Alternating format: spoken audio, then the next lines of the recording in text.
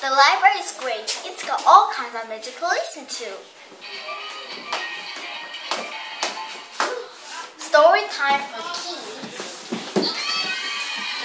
Oh, I'm not eating that. It's spoiled. And books for everybody. Hey, did you know the top is from Hustle Like Tokyo? I'm reading both versions so I know officially better I am than everybody else. Unless you'd like to challenge me. Sorry, friends in Boston, just call me. No, I didn't. What are you reading? Uh, book. Hey, what are you going to find my pills? I don't know. A pair of slippers. I love it here, but let's without date, never living coming to the library again. Chapter 1 Arthur goes to the library.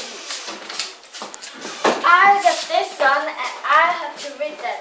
And this too. Why don't you just take one? One, I want to read them more. And this one too. You're wrong under the limit. You mean I can take one more? The new skill of hands up is in. Wow, the mysterious hand.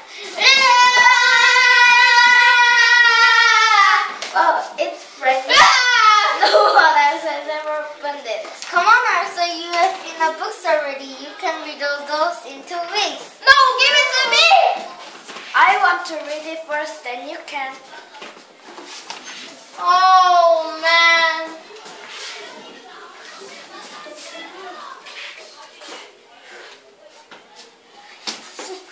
Don't give me, that's too many. This is not too many.